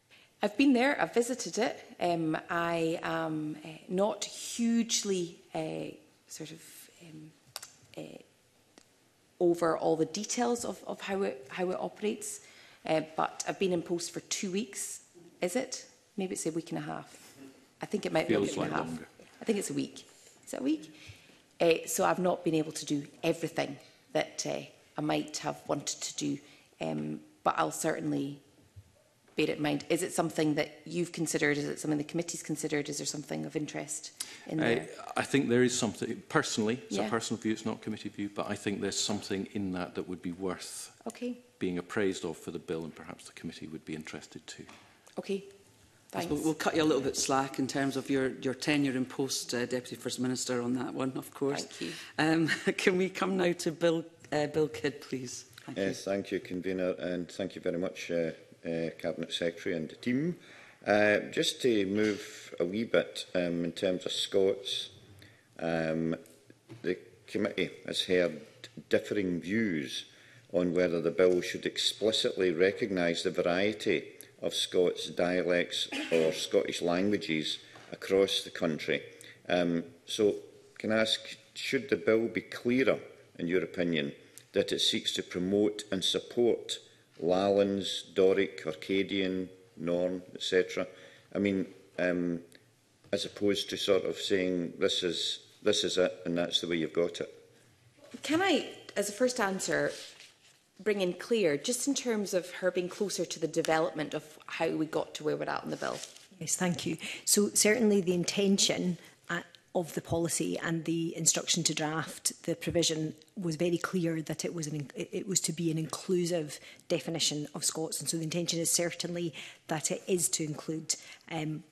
all of the different dialectal varieties of Scots. We have listened closely to the committee evidence uh, from the range of um, Scots stakeholders, not all of whom were on the same page about um, whether um, whether certain um, elements of Scots were, were a separate language or a, or a dialect, but the certain, certainly the intention is to be inclusive and to provide support to all forms. Um, well, thank you. It's, I think it's important, really, that, um, that, it, uh, that all the views should be listened to anyway, um, because uh, the Scots, um, basically the idea that it's got a uh, government backing in the first place, that Scots should actually be um, listened to more and increased opportunities that, that are attached to it in the same way as Gaelic. Um, but because of the different um, pronunciations and etc., um, dialectical variations, etc., across Scotland. Um, there will be issues to do with how this is taught and how this is listened to. Um, so I'm just wondering if that's all being taken aboard right at the very beginning. Uh, yes, and I take it on board now um, as you as you ask that question, um, and uh, again we'll engage those that have made at that point. It's the Scottish Languages Bill and recognising that diversity and, and variation mm. is very important. Good. Uh, uh, uh, sorry, Claire. We could also see that in the strategy and the standards that follow um, on, to, on the bill, more detail and more you know, exemplification can be, can be provided of the, of the, the different um, uh, things that Scots encompasses. I think the provision within the bill, we're relying slightly on, on, on the parliamentary um, styles in relation to how those definitions are developed, but the, certainly the intention is to be as inclusive as possible. Okay, um, well, just on the back of that then, um, the committee um, has listened uh, to stakeholders and others in terms of, okay, we have, and quite rightly, we've got the board in the Gaelic and it's doing fantastic work. Um, but there has been some disappointment uh, expressed that the bill doesn't include the establishment of a Scots board of a equal significance. Or, uh, um, and the evidence that we've heard, um, has the government looked at this and whether or not there could or should be um, uh, the establishment of a Scots board included in the bill? Has that been thought about? Well, again, if in terms of the development of the uh, bill, I'll ask uh, eh, Claire. I suppose the one point I would make is that somebody asked me at the beginning of this committee session about outcomes and outputs. I think it was Pam Duncan Glancy. And um, that is what I am a lot more interested in than establishing uh, structures and organisations uh, rather than necessarily distributing the funding uh, directly amongst communities? Yes, so there are a number of um, bodies which Scottish Government already fund and support. Scots Language Centre, um, Scots House, um, Doric Board, Doric Film, um, uh, Doric Radio or Scots Radio. Um, there's, there's a lot of voices out there in, and a lot of expertise both in the Gaelic world and in the Scots world. Um, we have certainly in our provisions for the strategy for the standards sought to include um, a, a, a range of stakeholders who we, would, who, we, who we will be consulting with in relation to the development of the detail of the strategy, the development of the details of the standards, etc. Um, and, and we would seek to be as inclusive as possible. Um, already our, our team uh, do support sort of e education groups and um, brings, brings Scots voices together. Um, so that's something that we're active in, we haven't yet um, moved forward to establishing a, a body, uh, but the status provisions within the bill which provide status to the language are, are a significant step forward. Uh, I, I think actually that um, from listening to what was said by um, by people who, who've come forward, stakeholders and others, that um, they see the idea of a Scots board as something that helps to focus and, um, and provide a, a constant push um, in the way that Board na Gaelic does. Um, and that's their idea. Um, but um, others have said uh, that um, the, the, it mo what's most important is to provide the emphasis on encouragement and support for those bodies which already exist and therefore for the people who uh, use the languages and the dialects um, to give them more comfort rather than providing something which is a possibly academic body, if you know that. There's differing opinions there, actually, you know. So, mm-hmm. yeah. Yeah, yeah. I, I think um, trying to find a way of coordinating amongst all the organizations and bodies that currently exist and ensuring that there is a you know, a, a formalised structure of sorts to underpin all the work is important, but also just letting them get on with doing the good work that they already do um, is key. Much for that. Thank you. Thanks. Thank you. Uh, Liam Kerr, it's back to you again. Thanks. Thank you, convener. Uh, Cabinet Secretary, going back to Bill Kidd's first question there, do you recognise the risk uh, that some witnesses have suggested to this committee that in talking about and defining Scots that this bill will end up standardizing out what are very different dialects such as Doric and Norn? It's a really, really important uh, question. Um, there's certainly no intention to do that. And I think if there were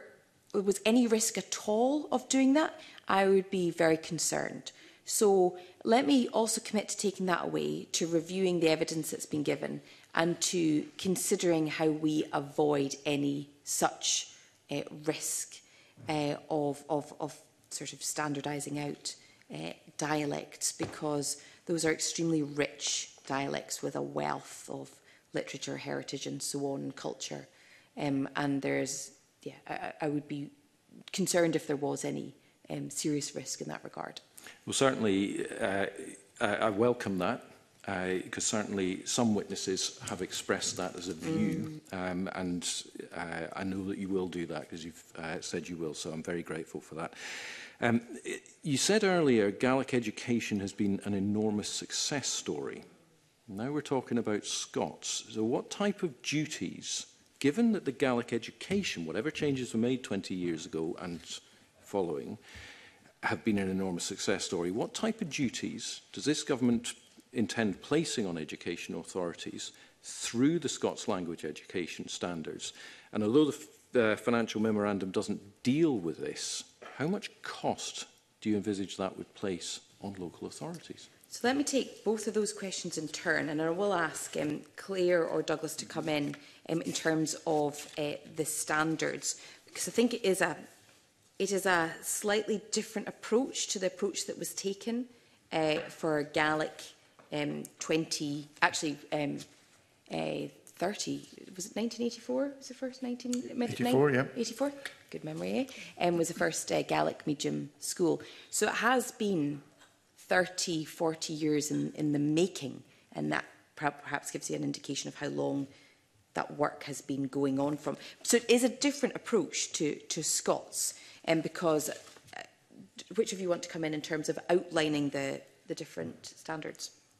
Okay, just let, let's, let's just see. What, what do we have at the moment? We have teachers delivering Scots in schools at the moment. We have support going into the schools to support these teachers, uh, both from the likes of Scots language dictionaries, from Scots House. We have uh, resources being published to support teachers and to support the work in classrooms And we have courses in place to support the teachers that might want to learn how they can deliver Scots in, in, in the classroom. So these things are, are in place and going forward uh, already. What we can do with the standards is, is to tighten up what the expectations and what the support could be. But uh, I, as you'll appreciate, uh, these haven't been produced yet. Well, that's quite a key point. That's what I'm asking. I'm, I'm not asking with respect what is there already, I'm asking that given that new duties are apparently being placed, that what, what does that mean when, when this committee is reporting, what does the bill actually mean? And therefore, uh, from there, what will be the extra cost on our cash-strapped local authorities? And uh, with great respect, Douglas Anstall, uh, I don't think, I think what I'm hearing is you, the bill team, the Cabinet Secretary, is not in a position to give this committee an answer to those very important questions. Is that a fair reflection? I think we can say that, that, that there is funding in place at the moment for many of the initiatives that, that are going forward. But, but What are they?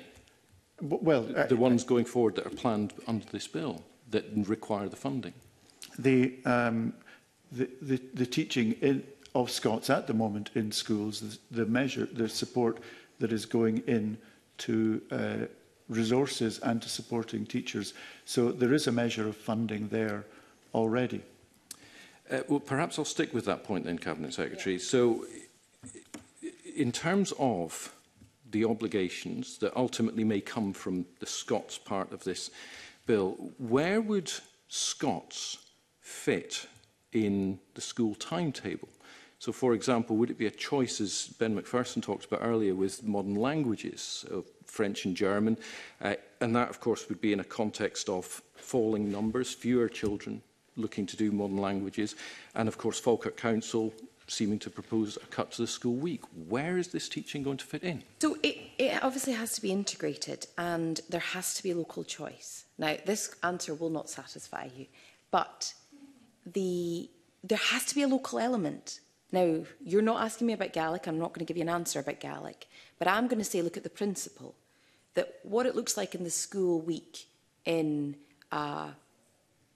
high school in Glasgow or in Cumbernauld, let's say, looks very different to what it might look like in uh, the, the Nicholson Institute in, in Stornoway.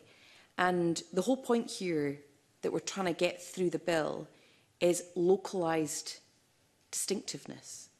So at the moment, clearly, some of the work that Douglas has talked about is already integrated in the school week. Uh, we're not proposing that across every school um, there is, uh, you know, in the same way that we're not proposing this with, we're not proposing with Gaelic or with Scots that there is now an obligation on every single student to study it throughout their primary school years, for example. Uh, but we would like them to be exposed on it, exposed to it and where it's happening already or where a school might want to uh, adopt it, um, that, there's, that there are standards that are, are set um, and that there is support. So in terms of the question about integration, it's going to look really different from Dumfries and Galloway through to Shetland, uh, not least because, to your point, you don't want to standardise uh, the, the distinctiveness. Um, the other thing is on the on the costs. I mean, um, And I don't know if, if either official want to say a little bit more about how they arrived at the figures for the costs. But there is already work going on, right? So there's already going on with, with local authorities. Local authorities,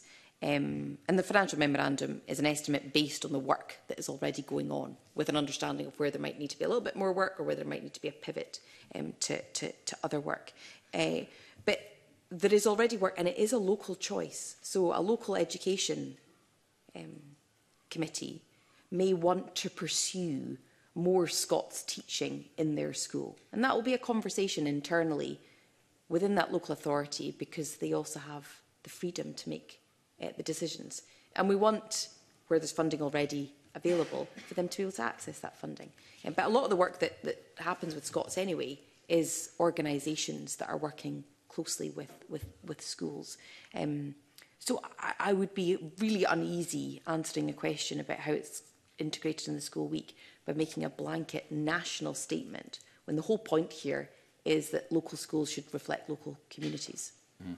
But you would like children to be exposed to it, to Scots, so sticking with Scots, I, uh, I, and that, those were your words. So where are the teaching staff going to come from in a context of falling teachers num teacher numbers in many subjects and e-, e-, ever fewer specialists in most subjects.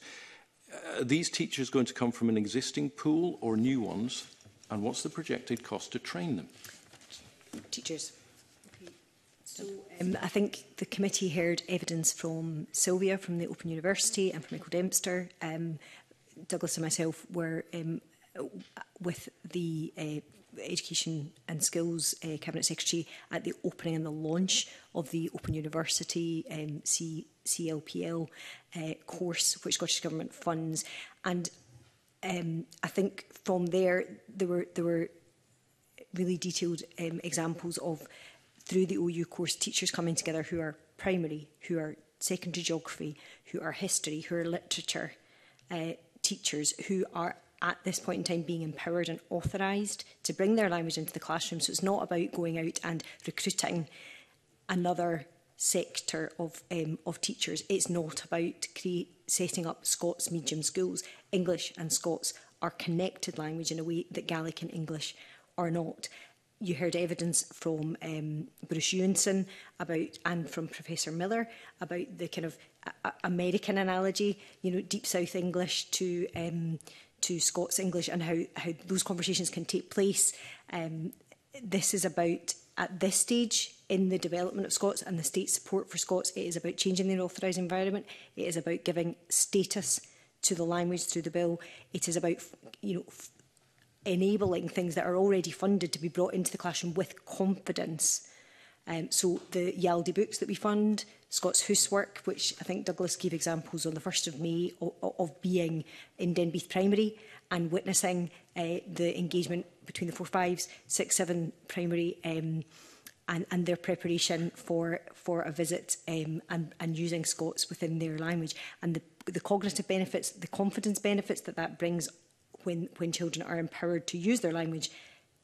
in the classroom. And, um, and my colleague Neil uh, on the 1st of May uh, when we were here uh, as, as the bill team uh, was also giving examples of the different registers um, of language that exist in Gaelic and that exist in Scots and um, and and the you know the benefits that that there are and the fact that these differences exist in English already. So just to reflect, the final question, very briefly, just so I've understood.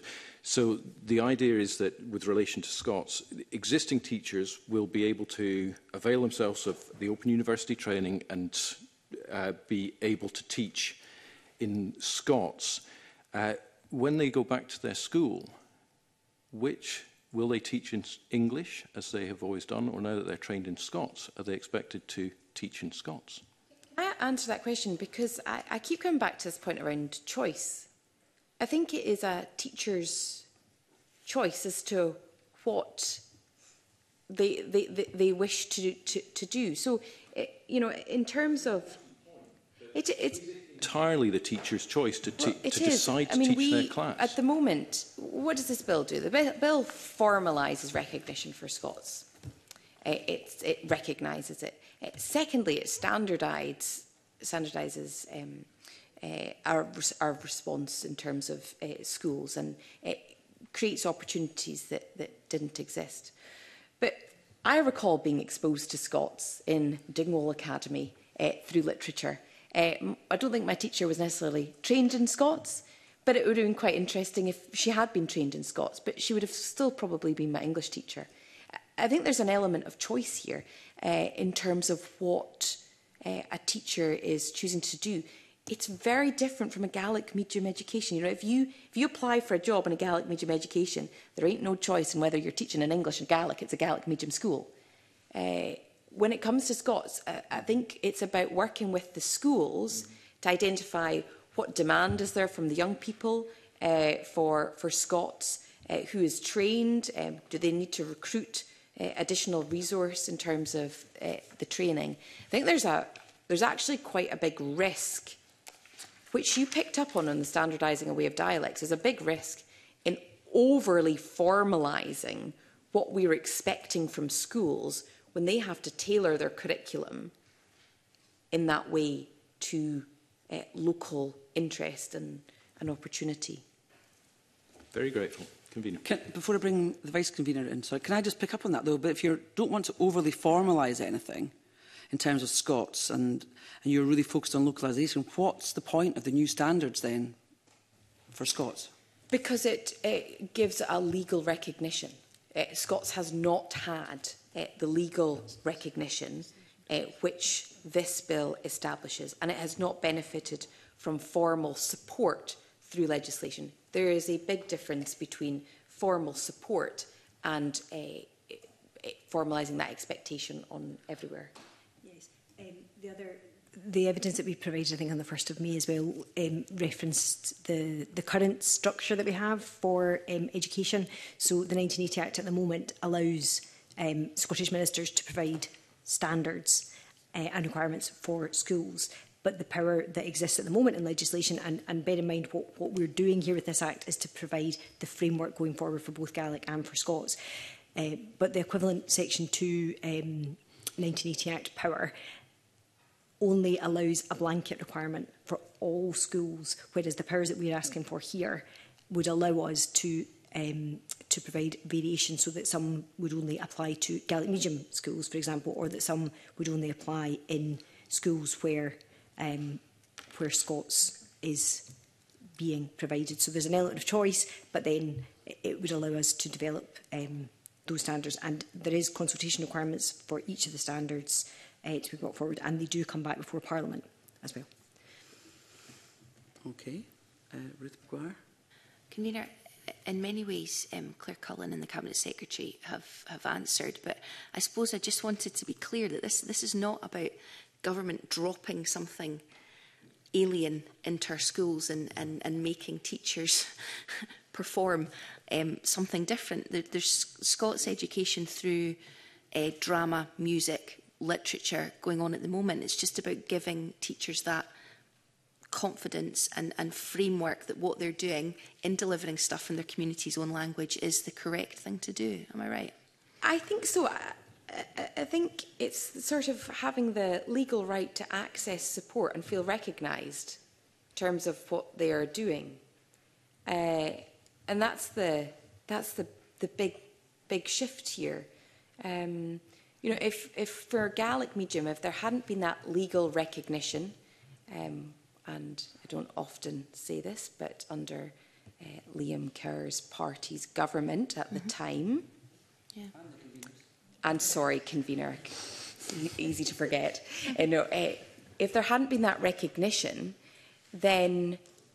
the last 40 years would not have happened. What we're doing here is to give that legal recognition, to endorse what in many cases is already going on, but to give a legal, legal right and a legal right to access um, support where it currently doesn't exist. Thank you. Uh, and we're going to circle back a little bit because earlier on Pam Duncan Clancy was looking to get in and I uh, missed her out. Sorry about that. Over to yourself now, Pam. Thank you. Th thank you, convener, and uh, no need to apologise. Um, I just wanted to pick up on something that um, was said earlier on. I think it might have been Claire Cullen who said it, and it was around the, the scope of the bill and the fact that it's come to the Education Committee. And so I um, I understand and accept and that it is the norm for, for Parliament to determine which committee looks at which bill. But it is, of course, for the government and the, um, the Cabinet Secretary at the time to determine the scope, I would imagine. So in that sense, um, when I asked a question about scope of the bill of the bill team earlier in, in these evidence sessions, I, the, the answer I got was, was that it is quite narrow in scope. So can I ask again then, is the Cabinet Secretary's, or sorry, the Deputy First Minister's view that the scope of this legislation could go beyond education and perhaps address some of the infrastructure challenges that the report you referred to earlier on considers?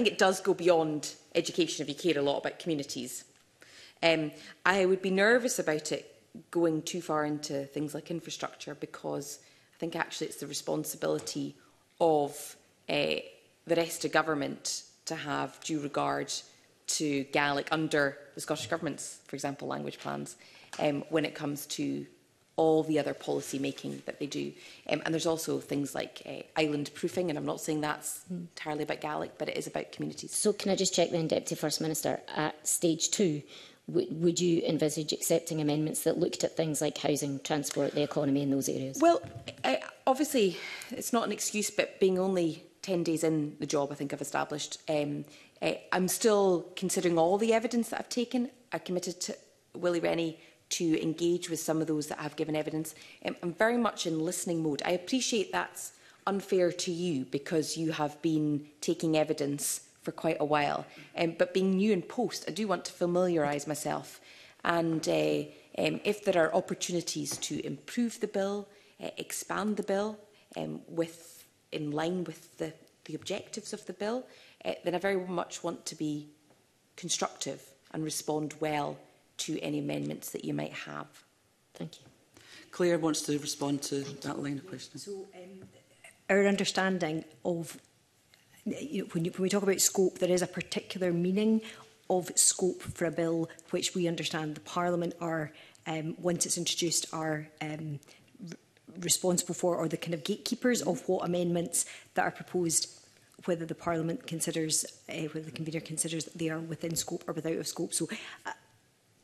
that's just you know, a technical technical um, issue, which it, not necessarily for government to um, to decide which ones are in scope or out of scope at this stage once it's been introduced. Thank, thank you, Claire. Okay, Right, everyone, that brings our evidence session of the morning to a close, and I want to thank the Deputy First Minister and her team of officials for their time today. It's, it's been uh, very, very insightful. And that's the public part of today's meeting now at an end. We'll consider our final agenda item in private. Thank you very much, and I now suspend the meeting.